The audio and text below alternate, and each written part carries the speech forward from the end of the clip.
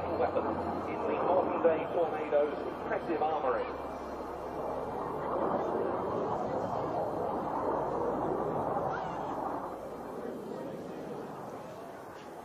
GR4 hugely developed over the initial GR1 area, which...